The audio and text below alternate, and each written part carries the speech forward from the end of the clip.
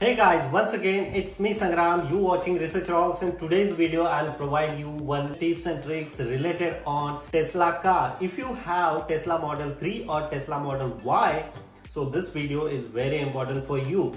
Tesla just this year introducing the unlocked features in the Tesla application and how we are enabled and how we are using and where we find out this unlocked features. Why we are using unlocked features because of sometimes here if you are living in Europe, Canada or USA so this feature is very important for you like this your car is currently is frozen and you are not able to open the Tesla door so using these tips and tricks, you, you can open car door very easily.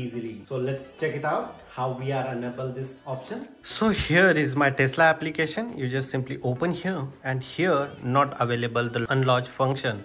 But how we are find out it's very simple tips and tricks. Look at this here the fourth number opening the car bonnet front end bonnet. So you just simply press here long and boom look at this here several hide functions are display here but we are focusing here launch door and this is unlocked door you just simply press long drag and drop here. It's very simple. Now i save and now my options are automatically come here. And then next time i click here and my door is open. Look at this. It's very simple tips and tricks. If you really like this video so please hit the bell icon and subscribe our youtube channel research rocks. Till then jai hind vande mataram